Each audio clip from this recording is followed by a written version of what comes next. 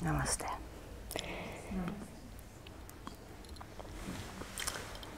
Kad kažemo namaste, vrlo vjerojatno ste primijetili, mnogi od nas, pravimo jedan, jedan ritual, a to je taknemo čelo, usne, prsa.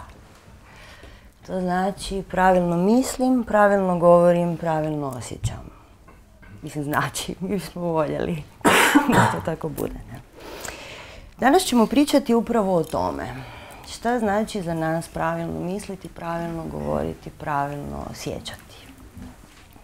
I šta je uopće pravilno? Pravilno u ovom našem slučaju bi bilo nešto što nas vodi u našu osobnu sreću. Okay? To znači pravilno. To bi zapravo značilo sretno misliti. Ali da li te to vodi u tvoju vlastitu sreću? Pa uglavnom da. uglavnom da, ali ne uvijek. naša današnja tema je znači uvod u, mi smo to nazvali psihologiju joge. Mi ćemo se danas uglavnom baviti sa osam krakova joge, jamama i nijamama, prvenstveno. Međutim, vidjet ćemo da tu je put je trnovit dok mi dođemo do naše teme uopće.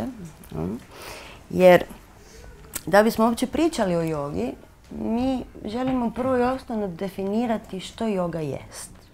Okay? Što je yoga? Znanost. Znanost, ok. Mm, jedinstvo svega. Yoga znači ujediniti, povezati nešto od puno malih dijelova napraviti jednu, jednu cjelinu. I da bismo mi to napravili, prvo i osnovno što moramo shvatiti je od kojih dijelova radimo što i što to znači povezati u cjelinu. Jer definicija joge zna biti jako, jako, jako svašta se čuje tu. Znači, ja sam jedno sam sa sobom, ja sam jedno sa svojom okolinom, ja sam jedno jer ja sam Bog, ja sam kreacija, ja sam jedno jer sam ja svijest i tako dalje, i tako dalje, i tako dalje.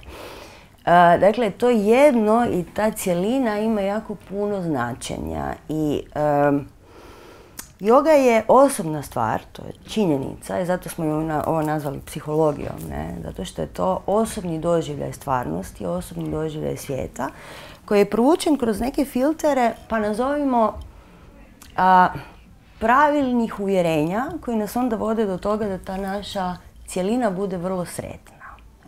Ovo sad zvuči prekomplicirano. pa ćemo se vratiti na... Znači, yoga znači povezati, spojiti. Znači šta? Spajamo sebe u jedno. To smo rekli prvo. Koje dijelove sebe bismo mi željeli spojiti u jedno? Kakvi su to dijelovi nas koji nisu ja? Duša. Duša nisam ja? Je, jesam. Dobro. Šta još? Tijelo. Tijelo. Ego. Okay. Razum. Sljedeći, za dva tjedna ćemo imati predavanje o samom umu, pa ćete vidjeti da u umu ima jako puno dijelova.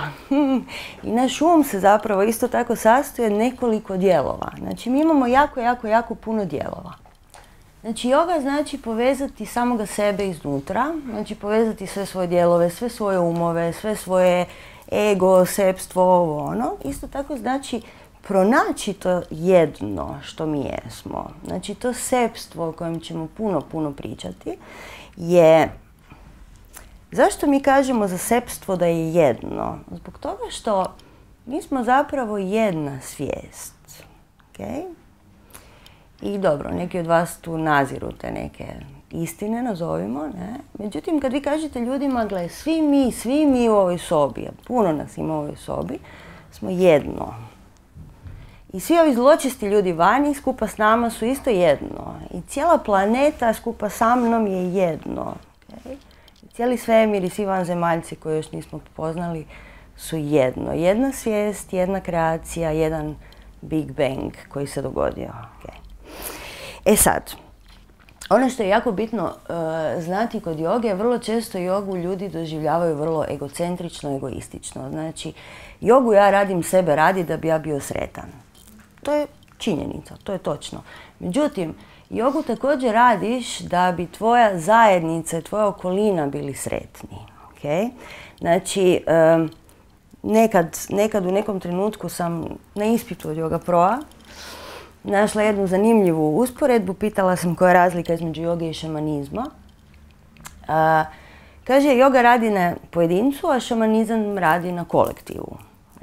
To nije točno. Apsolutno nije točno. Dakle, joga i šamanizam, jednom ćemo se posvetiti i tome, imaju jako puno zajedničkih točaka. Joga je između ostalog nastala iz nekih tradicija šamanizma. Ili je šamanizam nastao iz nekih tradicija joge, to o tom potom. Ovaj, ali ono što je činjenica i što je bitno znati je da joga je izuzetno bitno, bitan alat za utjecaj na naš kolektiv. ok?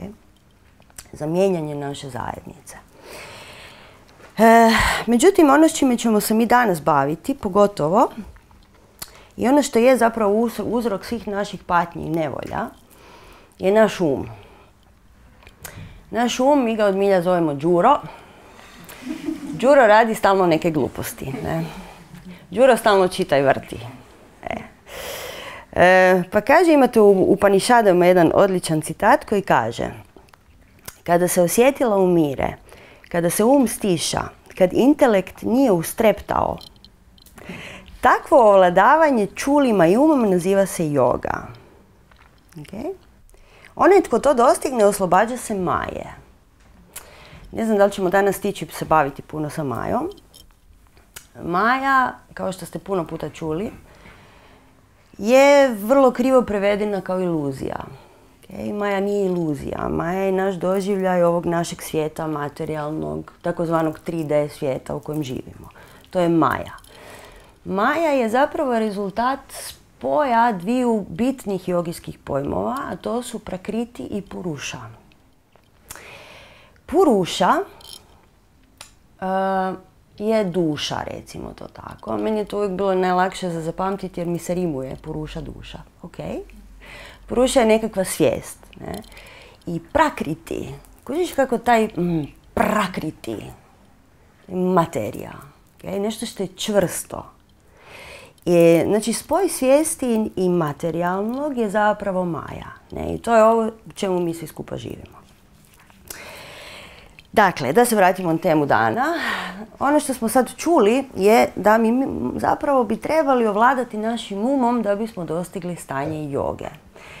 Kad dostignemo stanje joge, to je zapravo stanje sreće.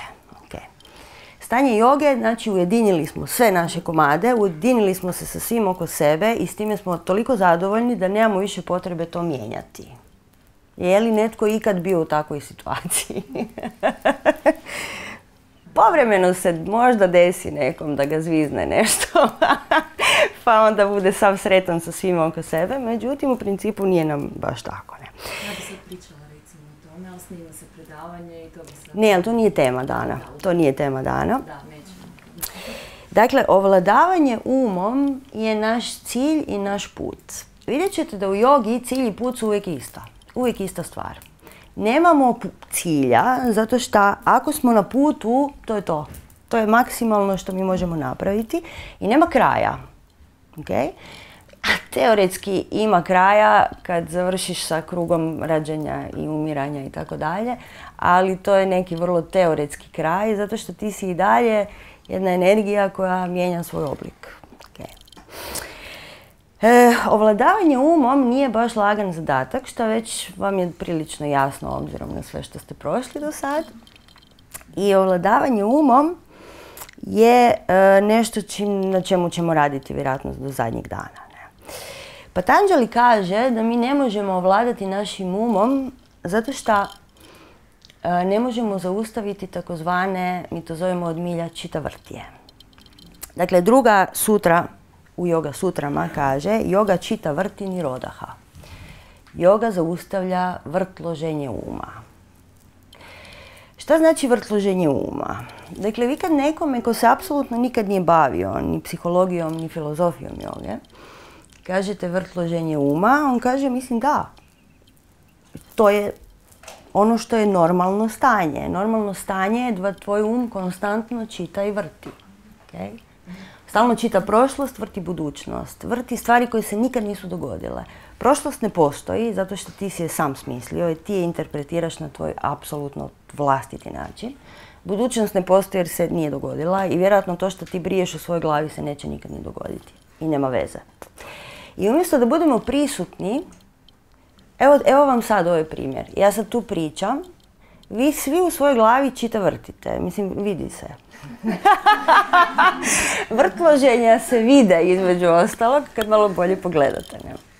Znači, naše uobičajeno stanje je čita vrti. Čita je inače svijest, vrti su recimo vrtlozi, ne? vrtlozi svijesti. Znači da ti konstantno svijest okupiraju nekakvi vrtlozi. Kakav je vrtlog? On je uvijek jedno te isti. Ste primijetili sad, budući da meditirate, nadam se, već neko vrijeme, da vaš um konstantno okupiraju više manje jedno te iste misli. Mi stalno vrtimo i čitamo jedno te isto. Mislim, dosadno je u našoj glavi. Okay? Bilo bi puno uzbudljivije da to ne radiš, nego da stvarno ideš okolo i živiš i da slušaš te ljude koji ti nešto pričaju. Meni se zna dogoditi, ok, ja tu dođem, vodim sat pitam nekog kako se zove i čitam vrtim jer nešto planiram ili šta znam što se već dogodilo, slušam nešto drugo i nemam pojma, ona je sad to rekla i ja to ne znam ponovi te sekunde. Okay? Znači to je čita vrti. Ti radiš konstantno sa nekakvom bukom u svojoj glavi. Sve što radiš, radiš tako. Ne? I nije slučajno da naš jogijski put baš nije jako popularan. Mislim sve je popularnije, ok. Sve je popularnije to da ljudi skaču na matu i tako dalje i tako dalje. I onda mi njih lagano na, navučemo na meditaciju, ono, mi smo, mi godine nam trebaju da oni dođu, stvarno tu sjednu.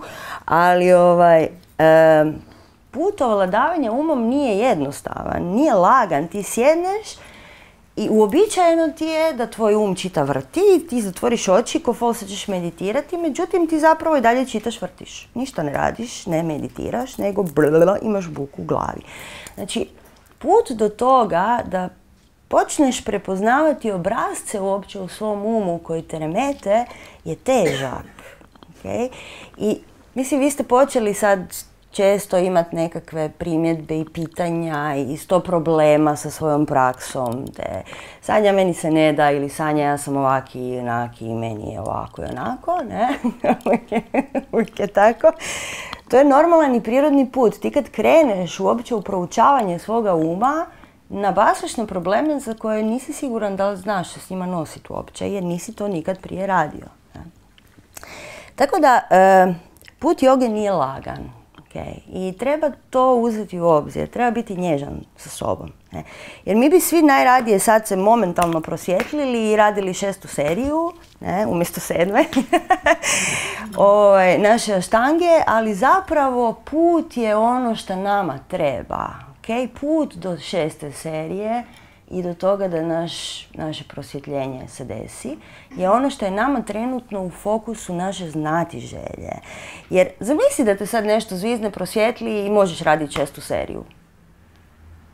Pa, a, mislim, ne bi bilo baš zanimljivo. Što ćeš onda? Što ćeš nakon toga? imat sedmero djece pa imat sedmu seriju. Zezam se.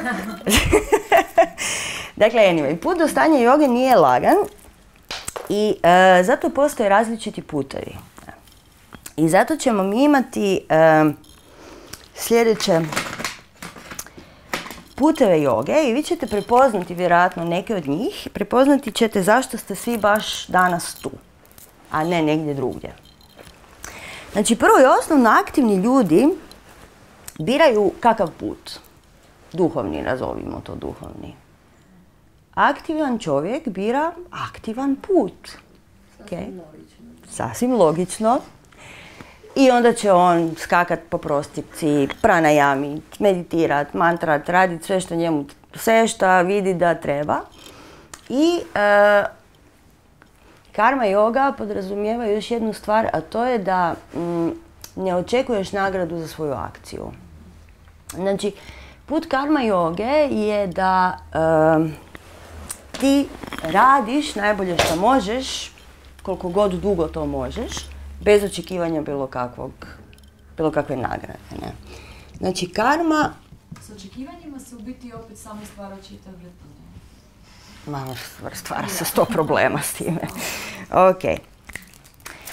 Emotivci će odabrati kakav put? Emotivci će odabrati bakti put. Bakti znači em, pa posvećenje nekom pa višem cilju ili nekoj konkretnoj filozofiji. Bakti su vam vrlo često sekte, na primjer. E, sad to možda ružno zvuči kad ja to izgovorim, ja imam emocionalnu povezanost sa riječ sekta, ne? Pa možda ste to osjetili, ali sekta kao, kao takva nije nužno loša stvar. Sekta kao sekta može biti vrlo pozitivna za ljude koji su emotivni, koji su na taj način vezani. Oni se vežu u svoje božanstvo, u svog učitelja, u svoj kolektiv na jednoj emocionalnoj razini. I nemaju potrebe za propitkivanjem, razmišljanjem, kontempliranjem, ovakvim predavanjima i svim tim stvarima, nego oni će pjevat bađane i molit se svom šri šriju i točka. To je njima super. ok? Intelektualci će odabrati kakav put? Intelektualni put. Džnana jogu. Džnana vam znači znanje. I šta će oni raditi? Oni će proučavati, kontemplirati. Recimo, Muđi vam je tipični uh, džnana guru, recimo. Ili Vivekananda, famozni koji je, koji je zaslužan za hrpu naših stvari. Krišna Murti, takvi neki ljudi koji će uzeti filozofiju, koji će uzeti psihologiju, koji će kontemplirati i onda izvesti nešto odlično iz toga. Ne? I prihvatiti, shvatiti i uključiti u svoj život. To je izuzetno bitno. Ne? E. I zadnji od ova naša četiri puta koja ćemo danas spomenuti, ima ih još, da vas to ne zbuni. Imate razne tantre, mantre, ovakve, nakve stvari, to nije sad trenutno bitno. To bi se mogli uključiti u nešto od ovoga. Rađa, šta znači rađa? Kralj. Rađa znači kralj i kralj je onaj koji je ovl- ovladao sa svojim umom. Rađa yoga a, podrazumijeva da imaš kontrolu i nad svojim tijelom, i nad svojim umom, i nad svojim osjetilima. Gdje bi spadala naša aštanga yoga? U rađu, tako je. Do neke mjere ponekad e, postoje tumačenja da ćemo staviti to i u karma jogu, zato što karma, inače riječ karma znači akcija. Riječ karma ima vrlo čudnu konotaciju zato što mi svi kao imamo karmu iz prošlih života. Nemamo mi karmu iz prošlih života, mi imamo akcije koje smo odradili u naših desetljeća i desetljeća koliko živimo i posljedice koje idu s time. to je to. ono. Newton kaže, every action has a I sad, znači imamo sva ova četiri fantastična puta joge koji, kao što smo rekli, nisu baš sasvim lagani. Nije lagano otići u ašram u Indiju šest mjeseci bađane pjevat. Iako po mnogima je to najlakši put. Put mantre je najlakši put za postići neke stvari. Međutim, poslije ćemo se vratiti na to vjerojatno. Em, dakle, zašto mi ne možemo vladati s tim našim umom? Šta su ti naši čitavrti? Dobro, dalje. Šta znači obrazac? Šta znači obrazac ponašanja? Kako kontrolirate znači naše emocije, osjećaje, to sve što nam se događa u toj glavi, ne? Ti čita vrti. To znači da mi zapravo konstantno radimo reakciju. Okay? Između ostalog. Dakle, inače po yoga sutrama čita vrtija imate pet, pet različitih uh, pet različitih uh, tipova čita vrtija. Prvi tip čita vrtija vam je ja znam da je tako. Ja znam da je ovaj pod tvrd i ja znam da ja imam x godina. Ja to znam i to je točno. To je čita vrti. I ako sad budete u meditaciji išli gledat šta se događa sa vašim, sa vašim uh, mislima, ne? šta vam dolazi, vrlo često su takvi zaključci koje mi zapravo uopće ne gledamo, naravno da je tako, naravno da si muško. To je samo tako. E, ali možda nisi, možda samo izgledaš kao muško. Ne, ali sorry.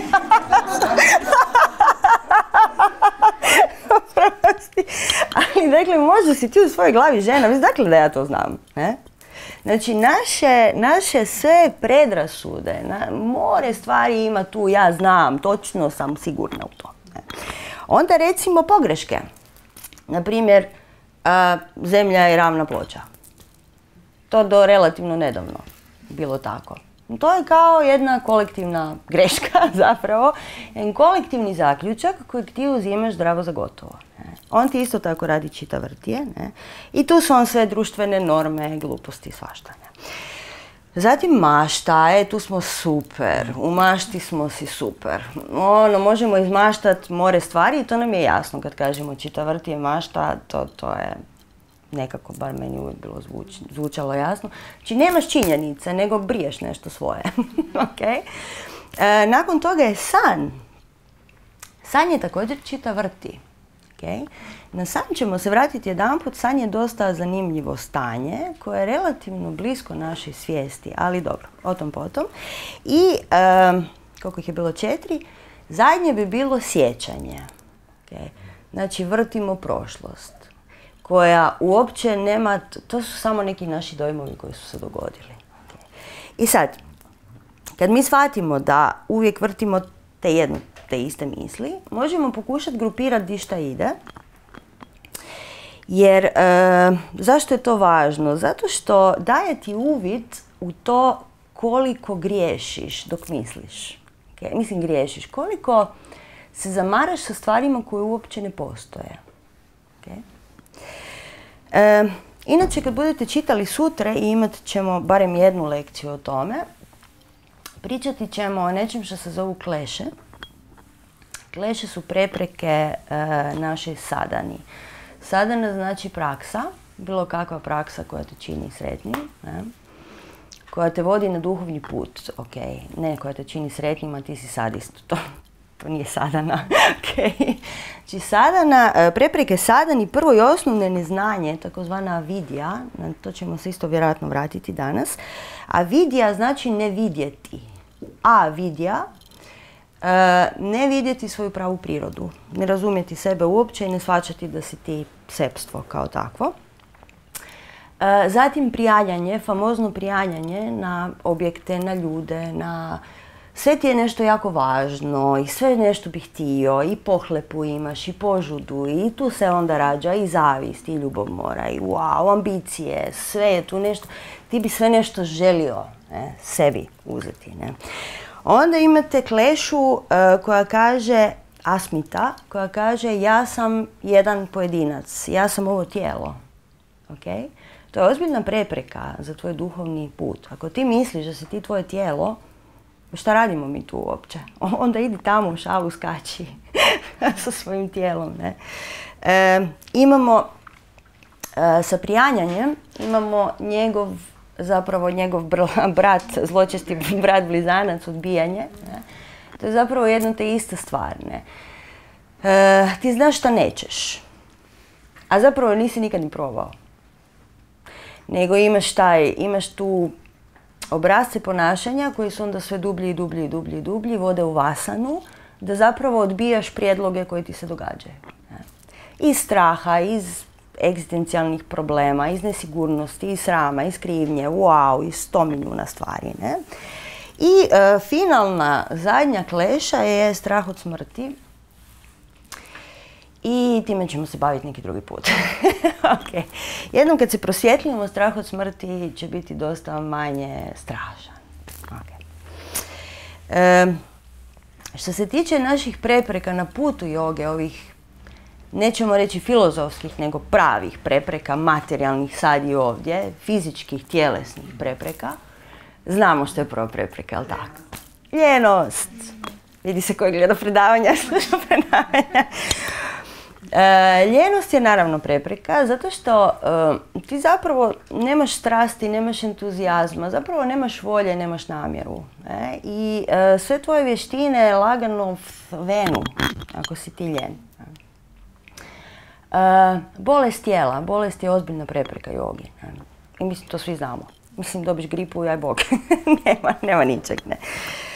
nedostatak vjere.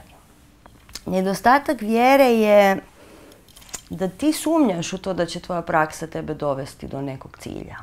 Okay? E to se prilično često javlja, pogotovo na početku naših puteva. Gle, vi odaberete, ne znam to, vi ste sad upisali yoga pro, niste baš sasvim sigurni je li ovo taj put ili bi možda trebali otići u neku sektu mantrat. Kožiš? E, taština. Taština je ozbiljan problem, zato što ti si najpametniji. E, E sad, budući da se ovim našim uh, osmerokrakim putem joge i našom aštanga jogom, znači ja kad kažem aštanga joga, mislim na dvije stvari često. A to je naša aštanga vinjasa joga, koju mi svaki dan radimo, i aštanga joga osmerokraki put joge. I uh, ako ti nemaš poniznosti i ako misliš da si najpametniji, mm, vrlo često ćeš doći tu. Jer to zvuči kao nešto što je za pametnog. Znaš, ono, sad ću se malo baviti yoga sutra. Mm, to mi zvuči dobro. Mm. Neću sam tamo glupo mantrati, kuhat za neke druge beskućnike. Ne, ne, ne, ja ću se sad baviti filozofijom. E, tu je velika zamka, tu je velika, velika zamka i srećom pa naša praksa nam razvija priličnu poniznost, onako, s vremenom. E. Ali vidi kad reagiraš tako, vidi kad si najpametniji, kad tvoj ponos izađe van, to je ego, ponos je čisti ego. Ne? E, to je mali, mali koji bi se borio za svoj status u društvu. Ono. E, tako da taština nam je dosta, dosta veliki, e, velika prepreka. E, žudnja za raznim objektima nam je prilična prepreka. Ne? Jer ako ti želiš imati veliki auto, znači da ti treba puno para koji će trošiti puno benzina, opet treba puno para, treba ti posao za kojeg nemaš vremena i za posao i za duhovni put. I desiti se sto problema. Ne? E, vezanost za objekte, time ćemo se isto baviti jedan put posebno. Znači, ta famozna vajragija se to zove, znači nevezanost za objekte za ljude, za događanja, za situacije i tako dalje, ti treba da bi uopće napredovao. Znači čim se vežeš, za šta god, za svoje ljubimce, za svoju djecu, za, svoje, za svojeg partnera, za svoje učenje, za svoj put, to već za tebe nije dobro. Ne? I imamo još jednu stvar, a to je finalno, znači, dođemo do nekog stanja kad naša sadana postane naše zadovoljstvo. I onda postane naše opuštanje. I ja sad imam tri sata dnevno za sebe. Hm? Jel tako? E to je isto zamka. To je isto zamka jer na početak sadana nikad nije opuštanje. Sada na tvoj duhovni put ovladavanja tvojim umom nije opuštajuć. To je naporan rad. I uvijek je naporan rad. Nikad ne prestaje biti naporan rad. I ako misli neko da će za šest mjeseci zaključiti aha, ja sam odradio svoju jogu, to je bilo to. Gle, ne, to se neće dogoditi. Ne? I to mi je isto prepreka na putu. Dobro, uglavnom, više manje svi smo još dovoljno mladi da nismo došli do toga da nam je da naša praksa postane na taj način uh, bijeg zapravo od neke stvarnosti, ne? ali uvijek se sjetimo da sadana znači predano, disciplinirano, uh, predana, discipliniran akcija, konstantna akcija u kojoj mi jesmo. Ok? Ne, mi smo mislili sad se to opustiti. Kaže vam Hatha Yoga Pradipika da je samostalna praksa ključ uspjeha. Okay? Nijedna knjiga te neće dovesti do, do ničega. Nijedno znanje izvana te neće nikad dovesti do ničega. Ako ti samog sebe ne promatraš konstantno i imaš sve bolje i bolje i bolje uvide i sve neke ideje kako pospremiti to svoje, sve iznutra, sve svoje razume, sve svoje umove, sve svoje emocije i tako dalje, To je teško i naporno i zanimljivo. To je jako zanimljivo. I kad ti e, kreneš u tu temu sa znati željom, ja uvijek kažem zamisli da si dijete koji ima četiri godine i igraj se, pogledaj šta ima u tome, a ne drama, to je teško. Okay? Znači, naše tijelo je naš, naš laboratorij za eksperimentiranje. Okay? kad kažem tijelo, mislim na cijeli ovaj, to, um, tijelo, mozak, šta god, emocije i tako dalje. Znači, samostalna praksa je tajna uspjeha. Okay? I uvijek se sjetimo jako, jednog jako lijepog pojma. Danas, kako je ovo uvodna lekcija, onda ćemo neke pojmove samo zabilježiti u svojim idejama. Virja. Okay? Virja je, pa to je nekakav polet, okay? entuzijazam. Virja znači i želja i strast. Okay? Treba imati virju za svojom praksom. Okay? Bili smo prošle godine kod Davida Garigesa. Onda on pričao baš o virji. I onda je rekao, ja bi se trebao zvati Virja Das.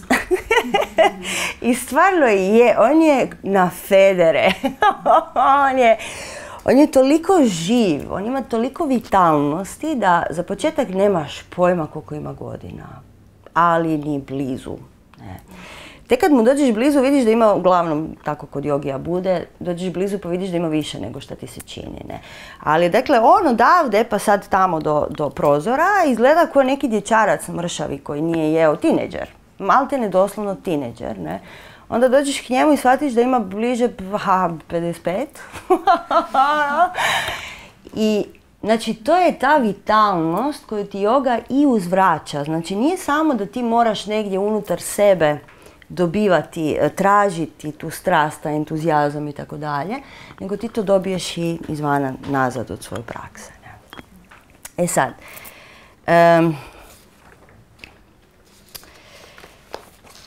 kakvi smo mi u tome svemu? Dakle, vjerojatno ste se sad prepoznali u nekom od ovih primjera.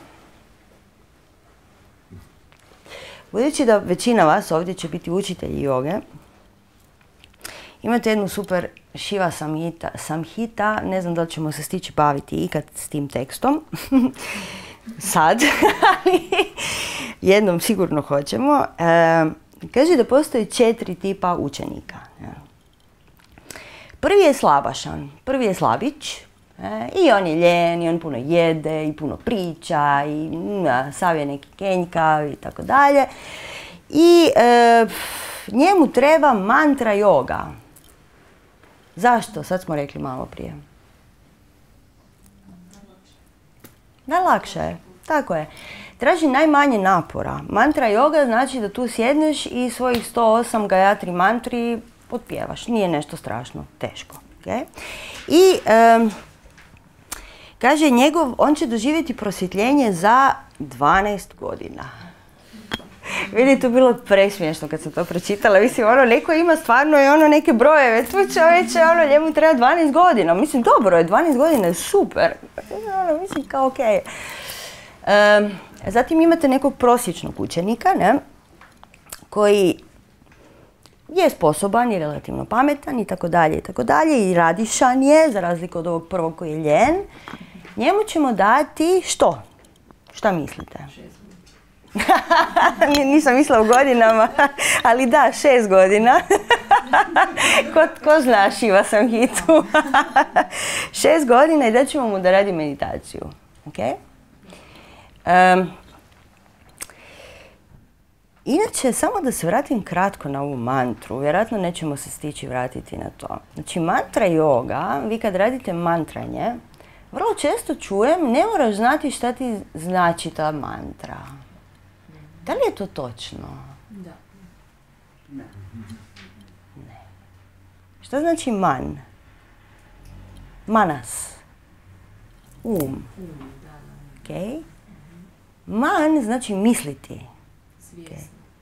I to je, recimo, molitva, mm, to je načelno jedna dobrohotna misao koju upućuješ, mantra. moraš znati šta ona znači.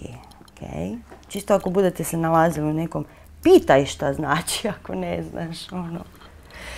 E, zato što ona mora imati duboko razumijevanje da bi, bila, da bi bilo 12 godina, nevjerojatno 24. Ono. Jer mislim da, mantra radi na način da ti vibriraš ono, kroz svoj glas i kroz svoje tijelo, to šalješ neku vibraciju, ali moraš znati koju. Okay? Puno je bolje za tebe da znaš. Ok, idemo dalje. Znači imali smo prosječnog učenika, imamo odličnog učenika, šta ćemo s njim?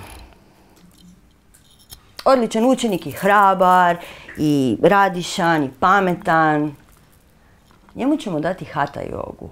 Jej! Njemu ćemo znači dati ovu, ovu našu jogu koja se sastoji i od fizičkog i od meditacije, od svega ostalog. Ne?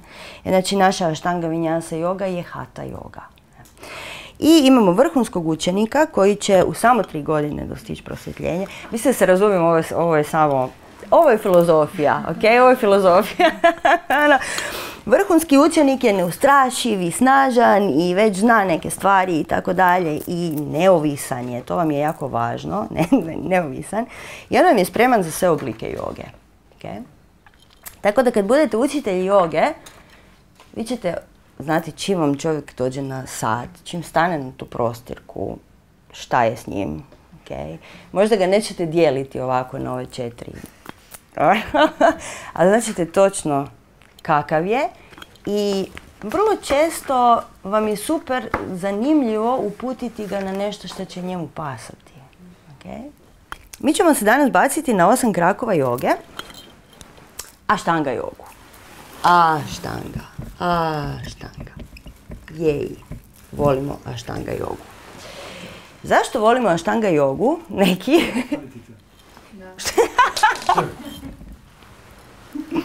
Srećom pa je moj rukopis takav. znači, zašto volimo aštanga jogu? Zato što je ona zapravo uh, osam disciplina, recimo disciplina, koji te vode do sreće. To je recept kako doći do sreće. U nekim tradicionalnijim zapisima biti će vam rečeno da je to osam e, koraka kako doći do prosvjetljenja. Okay? U ovom času ćemo te dvije stvari reći da su isto, okay? da su sinonimi, prosvjetljenje i sreća, jer između ostalog i jesu. Okay? Kod osam krakova joge zamislit ćemo osam krakova joge kao babušku. To već dugo radimo na taj način i ispalo nam je to dosta dobro. Možemo ih puno lakše zapamtiti. Ne? Os, krenut ćemo iznutra. Krenut ću od osmog kraka. Ovdje ću ga napisati. Osmi krak joge, zadnje stanje joge je samadhi. Zašto ćemo mi danas krenuti od samadija?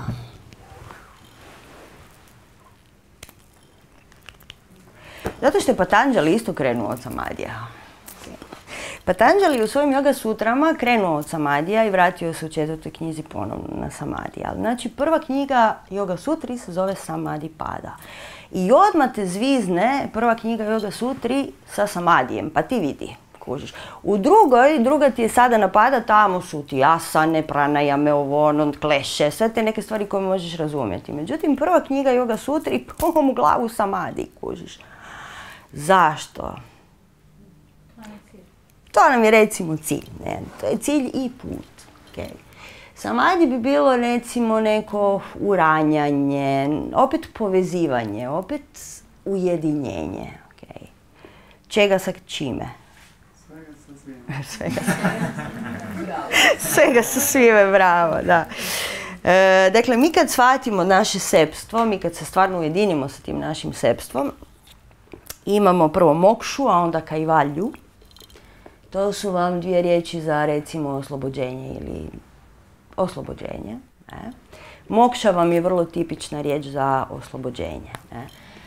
Kajvalja vam je četvrta knjiga Yoga Sutri, to je ono finalno oslobođenje kad ti doista iskačeš iz tog cijelog pakla ponovnog rađanja.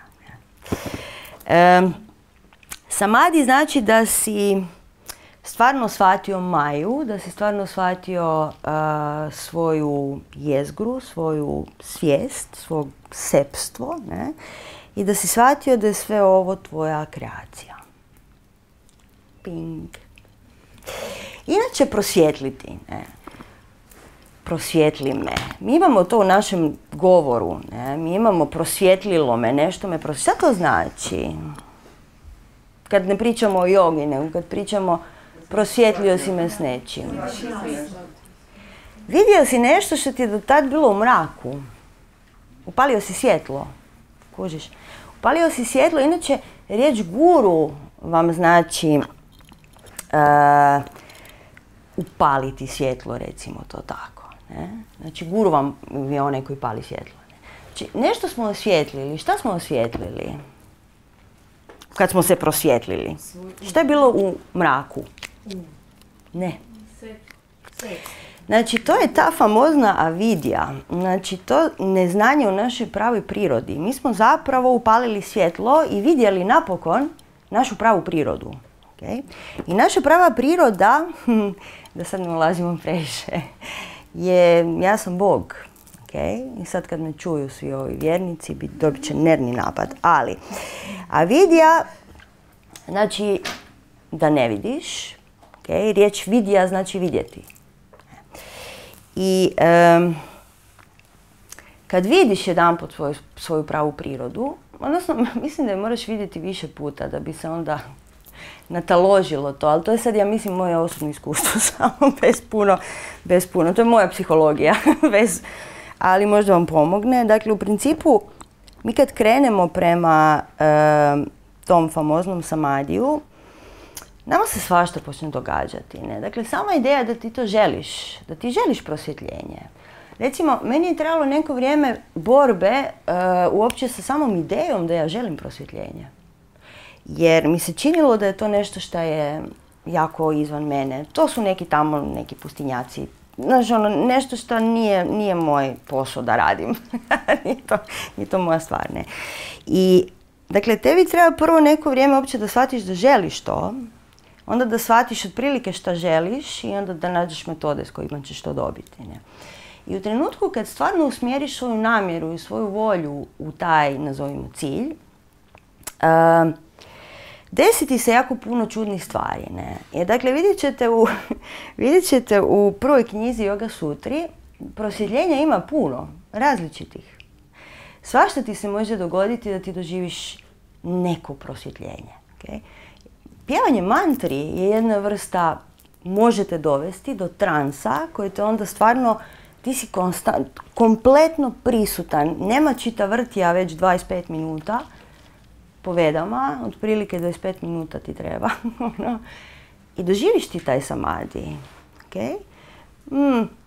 Što se tiče mantranja, taj nije nešto jako važan. Okay? Zato što, da, ti u tom trenutku si potpuno prisutan, a ne, ne postoji neko znanje koje, tu, koje se tu dogodilo. Ne?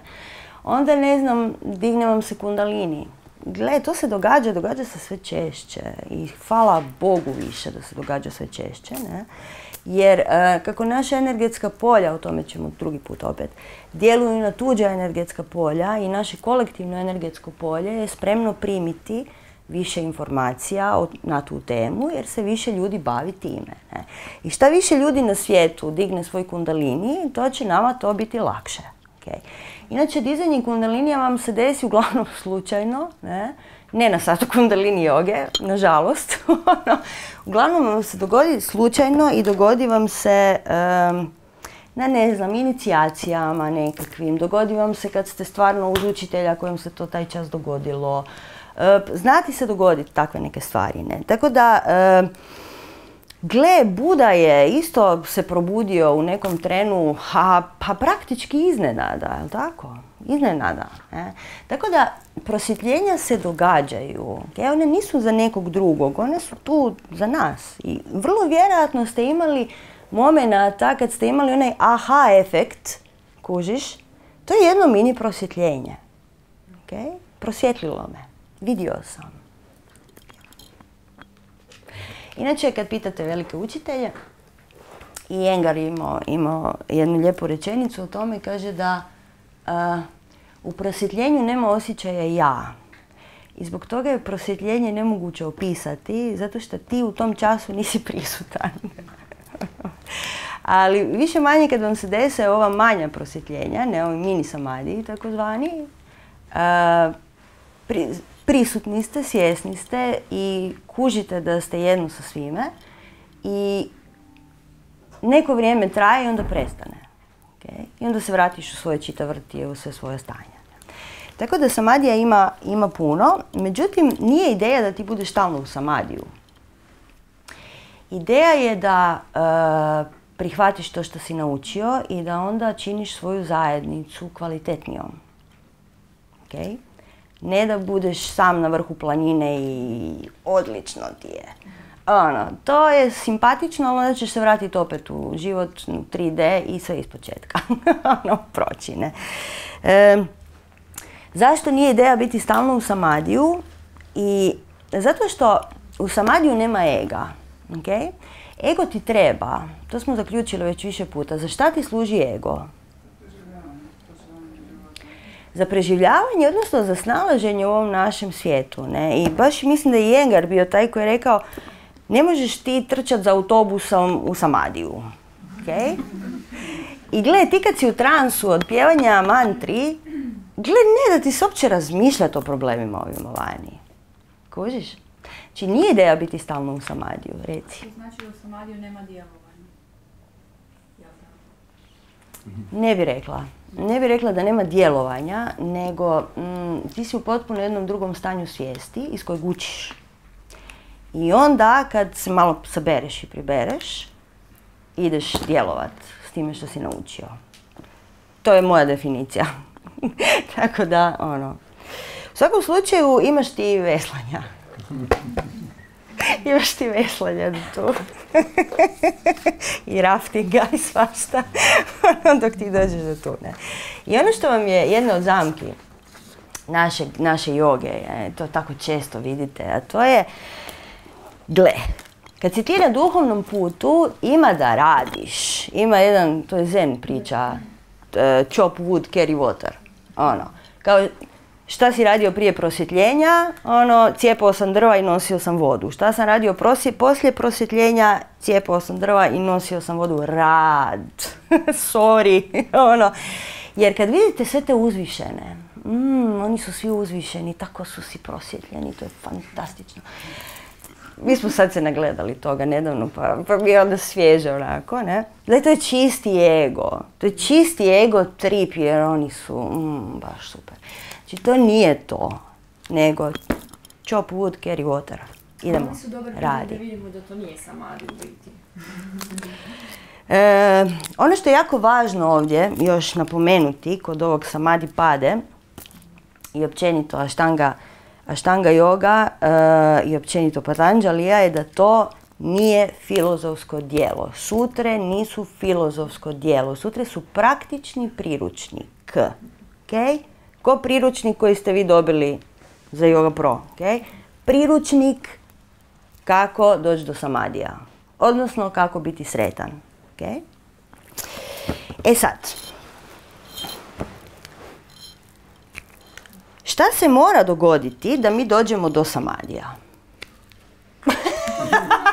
Sto milijuna stvari. šta se mora desiti? Rad, rad, rad, rad. Ne, ali dakle, na koji način u principu uglavnom dođemo do samadija? Tako je. Dijana, naše popularno žensko ime, eh, je sedmi krak joge i to je meditacija. Ok, e sad. Meditacija znači eh, da je um sposoban kontemplirati nad samim sobom. Je ovo što mi radimo svaki dan kad sjednemo u meditaciju? Disciplina. Koncentracija. Je li to meditacija? No, zapravo nije. Jesmo spremni kontemplirati nad samim sobom? Um, da, meditacija je zapravo stanje koje se dogodi spontano. Desi se spontano nakon što si se ti fokusirao neko vrijeme. Okay. Znači, naše sjedenje nije meditacija zapravo. ali dobro, mi ćemo to i dalje tako zvati, tako da nije važno. dakle, šta se uopće može dogoditi, šta se mora dogoditi da mi upadnemo u stanje meditacije, znači ovo je stanje. To je bitno je znati da je stanje, nije akcija. Šta se mora dogoditi da mi upadnemo u stanje meditacije? Tako je, fokusiranje. Fokusiranje se zove darana.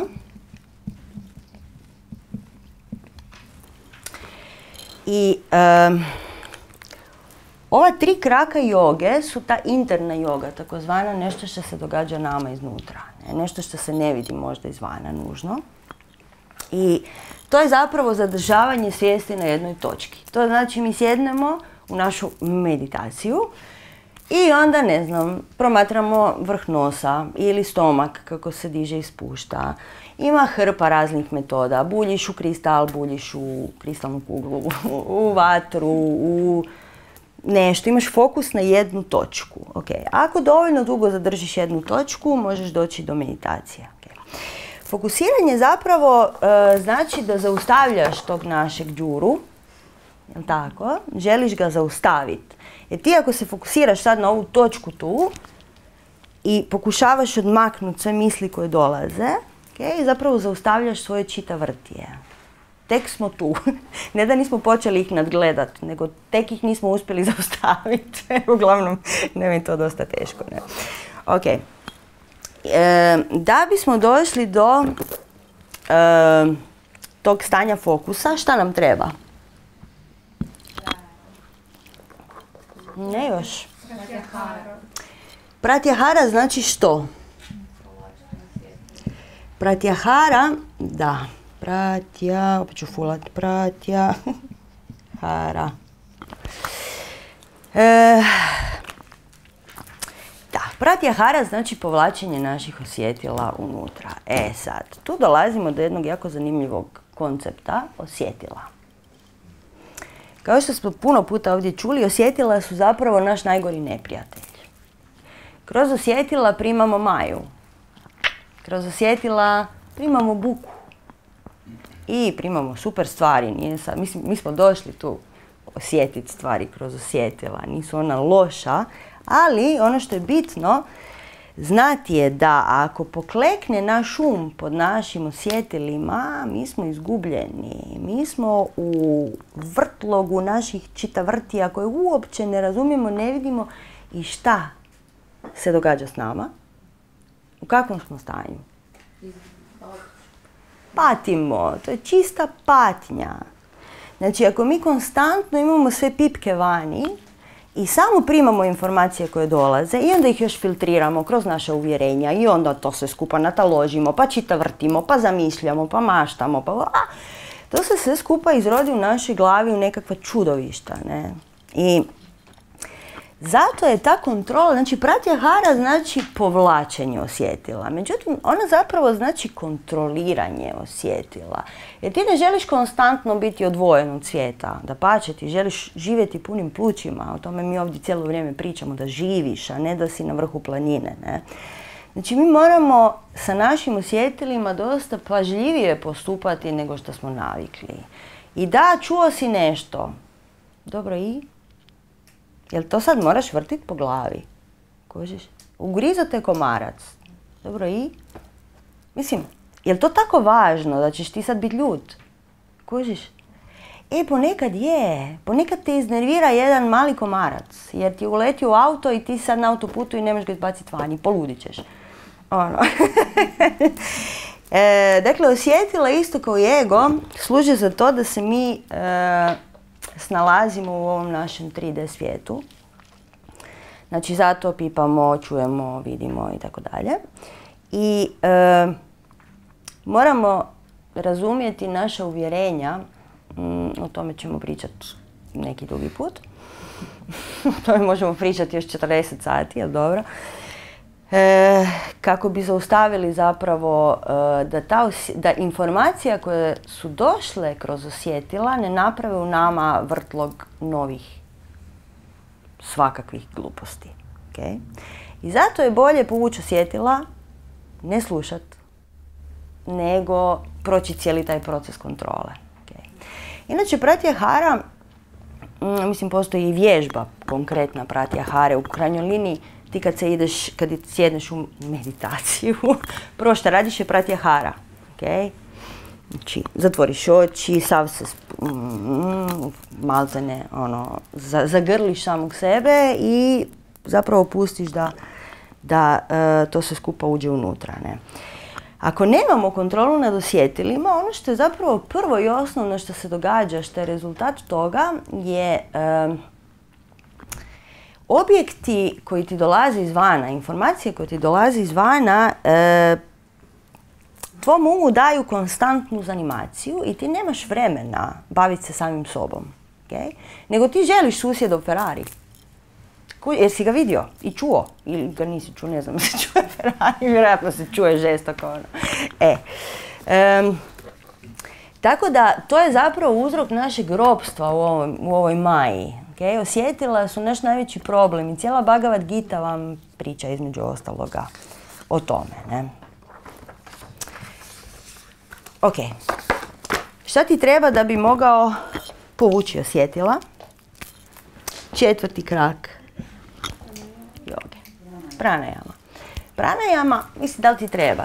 Bilo bi dobro da, da je napraviš, zato što ti daje puno bolji uvid u to kako to sve zajedno djeluje na tebe, ne? kako sad ta čula djeluju na tebe. Inače, pranajama isto kaže, mislim, Jengar ili tako neko, da je esencijalno za doživljavanje samadija.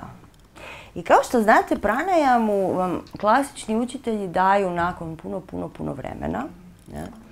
Zato što je pretpostavka da ti jako dugo radiš asane i da onda možeš kontrolirati pranu unutar sebe. Kontrolirati pranu unutar sebe nije baš sasvim jednostavno, ali da se, može se. Ne? I e, ako uspiješ to, to te može apsolutno dovesti do samadija. Zašto? Šta mislite? Evo, zamislite se sad u svojoj pranajami. I sad ti dišeš svoju nadišodanu. Šta se događa? Pak, pak, pak, pak. Sve to. Ako dovoljno dugo ostaneš samo na, na svojoj nadišodani, ti ćeš kroz neko x vremena, lijepo piše u vedama koliko, doći do samadija. Okay? Znači samadi ne da je dostižan, nego konstantno ti je, ono, evo uzmi me, uzmi me, molim te, molim te uzmi me. ok. Inače, e, sa zadržavanjem daha mi zapravo organiziramo svoje misli.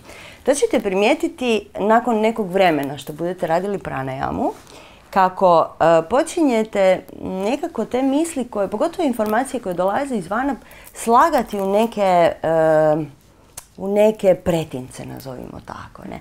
Isto kao što uzmeš udah kumbaka i izdah kumbaka, e, na sličan način ćeš uzeti informaciju kumbaka, aha, stavit ću je tamo. Dobiješ onaj dijelić sekunde vremena da nemaš reakciju nego akciju. O tome smo puno puta ovdje pričali. Okay? Sa pranajamom. Ne? Ok, šta nam treba za pranajamu? Asane. Asane. Asane. Naše voljene. Nam trebaju. Godine i godine asana nam treba da bi mogli raditi pranajamu kako treba. Ali dobro. Imamo vremena još. e, zašto zapravo? Da li je tijelu toliko teško napraviti te kontroliranje daha i te neke stvari? Je li tijelu teško? Kojem dijelu nas je teško? Zapravo živčanom sustavu. Zapravo živčanom sustavu. Dakle, mi kad smo pričali malo prije nismo ni pričali, nego više onako pogađali koji dijelove mi imamo. Imamo i živčani sustav, između ostalog, kojeg uopće ne razumijemo. Zato što on radi više manje sam. I mi zapravo sa uh, pranajamom unosimo puno, puno više energije unutar u svoj sustav. I naš živčani sustav mora biti spreman za tako nešto. Ne? Zato sam vam ja dala one jako, jako bazične pranajame jako jednostavne stvari da radimo sad za početak. Jer e, ti sa tom silnom energijom koju uneseš u svoje tijelo, ne znaš se nositi. I onda ona ode u sve moguće kanale. Onda ne spavaš, onda si hiperaktivan, onda ti digne vatu, no, ono, svašta ti se tu dogodi. Tako da e, zapravo tijelo mi sa asanama spremamo mm, da sjedi mirno, ok, pol sata koliko ti treba do samadija, realno, ali dobro. E, mi pripremamo tijelo, pripremamo živčani sustav za puno energije. Okay? Pripremamo naš um na to da nije konstantno on jedini bitan. Okay? Pripremamo, pokušavamo mu objasniti da tu postoji puno, puno naših dijelova. Ne? I e, kod asana i konkretno kod naše štanga, vinjasa i joge su vam bitne bande zapravo. Bande su vam jako važne zato što e, zbog bandi možete malo ranije ući u pranajamu. Jer kad vi radite svoj pozdrav suncu sa bandama, a ne bezglavo kompletno, i kad ti već počneš, mi zapravo već imamo pranajamu unutar naše štanga vinjasa joge, ne? I počinjemo kužiti taj energija gore dolje, pa se energija širi, pa se skuplja. Počinješ razumjeti pranavaju, vjetrove prane, ne? i da nemamo bande ne bi to tako brzo išlo. Ne? Zato, zato su asane između ostalog ove naše koje mi radimo jako, jako, jako važne. Ne? I u krajnjoj liniji šta ti treba za štira suka asanam? Miran um. Stalno se vraćamo i danas ćemo se vraćati na to kako smiriti svoj um. Okay? Jer smirit ćemo svoj um i onda ćemo biti sretni. Jer naša elementarna priroda je sreća. Mislim, sjeti se kad si se rodio i bio si malo dijete, koliko daleko se možeš sjetiti, bio si sretan. U bilo kakvim okolnostima. I prljavi, bez ičeg, i kampu, i šta ti ja znam, na planini, di god da te se stavi, ti si sretan kad imaš tri godine. znači, tvoje naše prirodno stanje je sreća. Okay? Mi želimo zapravo počistiti viškove, a viškovi su mahom čitavrti. Okay? Čita vrti se onda pretvori u samskare, to su obrazci ponašanja. I onda sjećate naših kalupića za kekse. Znači šta duže ti radiš jednu te istu stvar, ona prvo postane samskara, znači obrazac ponašanja i nakon toga se ukalupi i postane vasana. Vasana je ono što se tebi čini da je dio tvoje prirode. I onda kad meni dođu ljudi i kažu ja sam takav, ja sam ti tvrdoglav. Ne, nisi, nego si bedas jer nisi još poradio na toj vasani, ok? I dakle, nakon toga ćemo doći do prvog i drugog kraka joge, znači ovo ste se zapamtili, ne? Prvog i drugog kraka joge, a to su naše jame i nijame.